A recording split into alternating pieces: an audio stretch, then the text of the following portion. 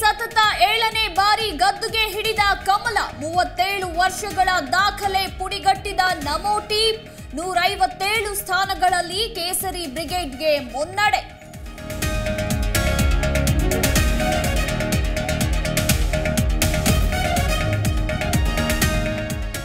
ಹಿಮಾಚಲ ಪ್ರದೇಶದಲ್ಲಿ ಕೈಗೆ ಜೈ ಎಂದ ಮತದಾರ ಆಡಳಿತ ವಿರೋಧ ನೀತಿಗೆ ಬಿಜೆಪಿ ಒಡಿಸ್, ಬಿಜೆಪಿ ಅಧ್ಯಕ್ಷನ ರಾಜ್ಯದಲ್ಲಿ ಕಾಂಗ್ರೆಸ್ ಕಿಲಕಿಲ.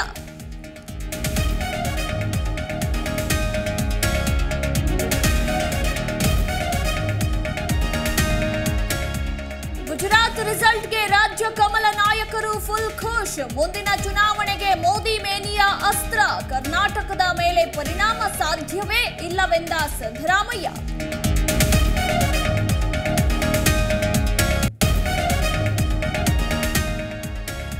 ಗಡಿ ವಿಚಾರದಲ್ಲಿ ಶಿವಸೇನೆ ಪುಂಡಾಟಕ್ಕೆ ಕಿಡಿ. ಜಿಲ್ಲೆ ಜಿಲ್ಲೆಯಲ್ಲೂ ಕರವೇ ಕಾರ್ಯಕರ್ತರಿಂದ ಪ್ರತಿಭಟನೆ. ಮಹಾ ಸಿಎಂ ಪ್ರತಿಕೃತಿ ದಹಿಸಿ ಆಕ್ರೋಶ.